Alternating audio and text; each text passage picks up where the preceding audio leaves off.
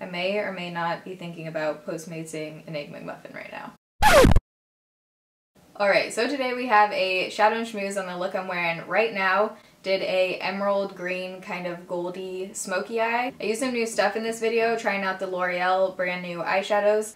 Also trying out the Julep Beauty Box. This is freaking awesome. Most people know Julep for their nail polishes, which I love. I post on Instagram about. But they also have some really good makeup, which I feel like is totally underrated. Basically, the Julep Beauty Box is a good way to try out their makeup you get three products every month. You can customize it. You can choose which products you want and you basically save a shit ton of money. You're getting three products for $24.99. I do have a 50% off your first box code, which means you'll get three products for $12, which is insane. For 12 bucks, I think it's totally worth giving it a shot. The three products that were in my box I used today, the lip mousse, which I'm wearing right now, their gel eyeliner, and then the eyeshadow 101 stick. So I'm wearing all those on my face right now. You'll see how they go on and apply. I've mentioned some Julep products in favorites before. I really like their glycolic hand scrub. It is amazing. If you can throw that in there, do it. Obsessed with these lip mousses. Definitely worth throwing these in. So again, if you want to check it out, I'll leave it in the description box along with a 50% off code. So if you want to see how I got this look, you're in the right place. Just keep watching. Alright, it is Saturday, feeling good. Got the coffee, probably need a shit ton more coffee right now. So I've already moisturized my face. I'm going to go in with the Nivea Post Shave Balm. And this is a men's aftershave balm that is like blown up on YouTube right now from NikkieTutorials. And I've been using this every day for about almost two weeks now. And it's legit, you guys. It has glycerin in it, so it basically acts as an adhesive for your makeup. Oh, smells so good. It smells like a dude under $10 from the drugstore from Target. I actually feel like this helps keep my makeup on longer. You want to wait until it gets really sticky like this and then you can go in with your foundation. So I think today I'm going to mix these two foundations. This is the Lancome Teint Idole Ultra with Too Faced Born This Way. I'll have the shades and everything listed down below. I haven't done a full review on this, but I've used it in multiple videos and I have a full review on this foundation. I haven't actually mixed these two together before, so hopefully it's a good combo. This one is a little bit too yellow for me, and then this one is super light and pink, so let's see if we can get a nice neutral shade going. And I'm trying out the Morphe G6 brush. I got these from HauteLook, and they were like $8 or something. I got a couple of them, so hopefully I like it. They look really small, but who knows, we'll see. I think we're gonna do like an emerald kind of smoky eye today. L'Oreal, if you watched my strobe, which is the live streaming thing, yeah, this brush feels very small. Got some major acne going on. It is such a struggle, you guys. It's like one week it'll start clearing up and then the next week it's horrible again. Okay, I kind of feel like that's just like a lot of work. Like this is a really small brush. Yeah, I'm going to switch brushes. I'm going to switch to my e.l.f. selfie brush. This is actually a powder brush, but it's amazing for liquid foundation. And it's like $3, so you can't go wrong. What were we just talking about? I feel like we are talking about something good. Oh yeah, strobe. So I did, I've been doing a couple live streams on Strobe, which is a new um, platform. If you guys didn't tune in, you can still watch the like rerun of it, I guess, on Strobe, so I'll link it in the description box. I've just been really enjoying it. Like, it's so cool getting to know you guys. People, like, in the chat were becoming friends with each other, which I thought was really cool. So I feel like I've been talking to you guys, even though a lot of you guys didn't watch the stream. So if you want to know what's going on in life and just, I answered a ton of questions and everything, so you can go watch that if you missed it. I feel like this color is actually perfect. Like, it matches my neck exactly. I feel like a lot of this stuff I already talked about because I talked about it on Strobe, but this is my favorite concealer lately. Uh, one of them, this is the Rimmel Lasting Perfection 16 Hour Concealer in the lightest shade. And Shaaanxo mentioned this in her drugstore favorites. You can't get it in the US, or I haven't been able to find it in the US. So I had to order it off of eBay, like Australia or something. It is so bomb. I love the color of it. Perfect for my skin tone because it has like definitely more of a pinky tone to it which I just feel like is super flattering for underneath my eyes for some reason. It's really nicely, good coverage. Uh, side note, don't know why this just popped in my head, but I waxed my arms last night because ever since I was living in Jordan, my host mom waxed my arms like the first day I got there. I don't think I've ever told you guys this. Uh, it was a good time. She told me my arm hair looked like a garden. Love her. And ever since then, I've been like waxing or shaving my arms, but I haven't waxed them in a really long time. And I just really like it. Like I like having no hair on my body. Waxing your arms is like super normal in other countries, so I don't know why it's so weird here. But anyways, I'm thinking about doing a more in-depth like hair removal video because I do remove hair everywhere on my body. Would you guys be interested in seeing that? Let me know. I am setting the under eye with this Stargazer powder. Super randomly found this online. It's basically a white powder, but I like it because it's not super chalky like every other white powder I found. And it has just enough color where, as you can see, it like brightens the under eye and sets everything, but it doesn't look stark white. So I'm actually really liking this. If I can find the website, I'll link it below. Not sure if I want to set the rest of my face. Kind of feeling like the glowy look. Whoa, there's like an eyelash vertical. Brows are on. I've been using a combo of the Etude House drawing eye pencil I've mentioned before. This is super affordable and it's amazing. With the Ardell dark brown brow pomade and then I top it off with Ulta Brow Gel. I plucked my brows before this video because last video the freaking brow police were out to party. You don't always have time to pluck your brows, people. I think my foundation is starting to set. Let's prime the eyes first and then I'll go on to face or maybe we'll do eyes and then yeah let's do eyes first and then we'll do the rest of the face today. So I'm trying out this Ofra eye primer for the first time ever. I'm usually not a fan of these like liquidy kind of primers like the Urban Decay. I feel like it just takes away from coverage on my eyes sometimes. So I think I'm going to try out a bunch of Morphe brushes that I have right now. Should we zoom in? What is this? This is the M511 brush and it's basically just a huge blending brush. So I'm going to go in with mix of coconut cream, which is this white shade, and peanut butter from the Too Faced Chocolate Bar palette. And let's just plop this in the crease. This brush is a little bit scratchy, not going to lie. I think like five minutes ago I started telling you that we're going to be doing an emerald smoky eye today. Mostly because if you guys saw the strobe L'Oreal actually did like a secret strobe giveaway too with L'Oreal stuff, but they basically sent a huge ass package of a bunch of their new products and in it they had these eyeshadows that look beautiful and I feel like I've never done an emerald green eye look so today is the day. I'm going to be taking the M502 brush and this Sigma palette, this is brilliant and spellbinding and the shade Sensational in here, which is not what I would title this shade. This is like literally a shit brown color, but it is amazing. Look at that brown. It is like the ugliest but most appealing brown shade ever. So I'm just taking that blending brush and putting a little bit on here. It is super powdery, so it has a little bit of fallout. So you want to tap off your brush first.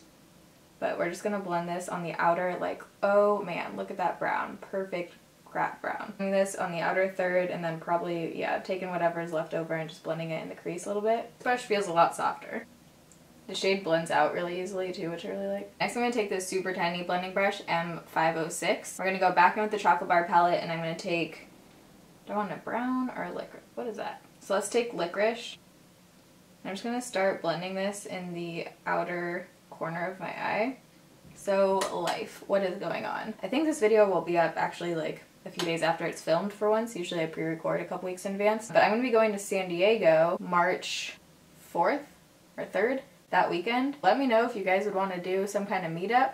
Um, I'm going there to visit family, but I think I'm also going to be getting my eyebrows tattooed, which I'm super excited about. I found this lady on Yelp who I'm going to. Her photos look amazing. The brush hairs look like super natural. I'll probably be documenting that whole process and making a video on it if you guys want to see that. Why did I not eat breakfast? I'm like dying right now. So I think I'm actually going to put down a base underneath. I think I'm going to use gold because I have this thing and it looks freaking beautiful and I feel like green on top of gold might look really cool. So this is the Julep Eyeshadow 101 eyeshadow stick. I've heard really good things about these. I've heard they're super long lasting. I have this gold shade right here, which is Warm Gold Shimmer. So I'm just gonna put this all over the lid. Oh man, you could just use this. Okay, well there's a gold smoky eye if you wanna stop there. And you don't even need to blend that out. Like, I could just literally stop there. Gonna take the L'Oreal shadow in 213 Teal Couture. I've been really liking the Coastal Scents brush S20, and it's just a super flat, really good brush for packing shadow on top of your lid. This is like a really interesting formula. It's kind of gel to powder. We're just gonna plop this on top. So I'm bringing this right up to that tan color. I feel like you can definitely see some of the gold underneath and it looks really cool. Because of this formula, I'm not getting any fallout at all, which is really nice because it's kind of like a cream. That color is super pretty. I think we need a brown shade to blend into the crease, so I'm going to go back in with the chocolate bar palette. Let's take Hot Fudge. So I'm going to take my Coastal Scents BR250 brush, which has been one of my favorites lately, and we're going to go in with Hot Fudge and basically blend this straight into the crease. Mostly focusing it on the outer third. Okay, so now that we've spent an hour blending, I'm go back in with a fluffy brush and take that Poop Brown shade again by Sigma and just warm up the crease a little bit more.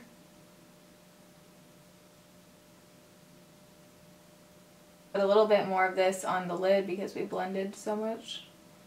Next, I'm going to take an eyeliner for my waterline. This is the Julep Gel Eye Glider. This is in Blackest Black. I've never used this before, but apparently this is like one of their best sellers. Did you guys see that? That just went on so easily. So I'm going to take this super tiny brush by Morphe. This is the M508 brush. And I'm going to take Licorice again, which is that black shadow from Too Faced, and just blend this on the outer third. I'm going to take Too Faced Peanut Butter on here and blend underneath that black. I've been on a Mad Men marathon lately. Have you guys seen that show? If not, you need to. It kind of makes me question my grandparents a lot, but uh, it's really interesting. I'm on season three and I started it last week. No shame. I'm going to take our favorite again. And I'm going to go back in with that gold. Oh yeah, this is super pretty. I feel like the inner corner never quite picks up on camera. I'm to use my Physicians Formula Eye Booster like always. Not sure if we're to do a wing or just line.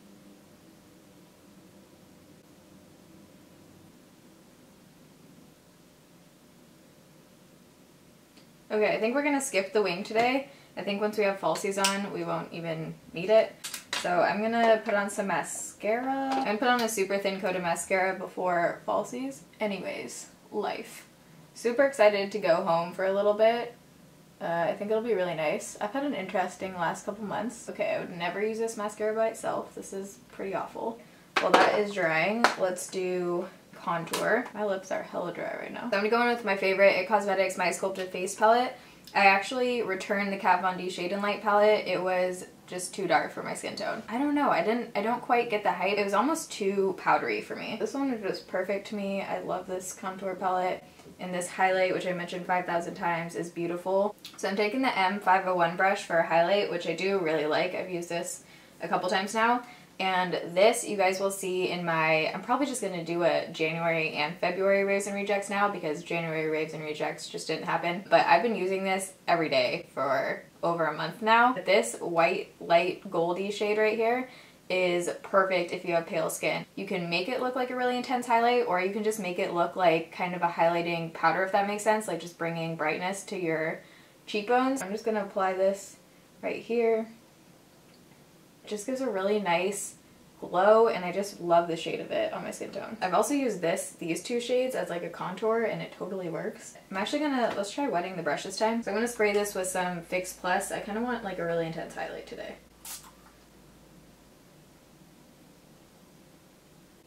Look at that glow, people. With the emerald shade, I feel like we need a little bit more of a like berry tone blush. So I'm going in with this Too Faced Heart Blush in Your Love is King. Sometimes this ring light like actually blinds me. Think it is falsy time. So I'm going to take these Violet Voss lashes. I got these at IMATS and I wore these in the strobe makeup tutorial that I did. These are just slayin' and they're so freaking pretty. So while the top lashes are drying, I'm going to be putting on bottom mascara. This is Wet n Wild Length, my favorite. And I'm just going to blend those falsies into my natural lashes with this. I'm going to blend in that lash band by putting some eyeliner over top. Okay, lips. So I'm going to be using the Julep Lip Mousse, and these are totally freaking underrated. These are the matte lip mousse. They're pretty new. They came out in December, I think. I think I have like six or seven shades. I'm either going to take Ooh La La, which is kind of like ColourPop Trap, or Bisou. I think we're going to do Ooh La La. The formula of these is beautiful. They're long lasting. The brush is interesting. I've never seen a liquid lipstick brush like this, but it kind of curves the shape of your lips, if that makes sense. I do like to use just kind of like the ball end to get in the lines on my lips first.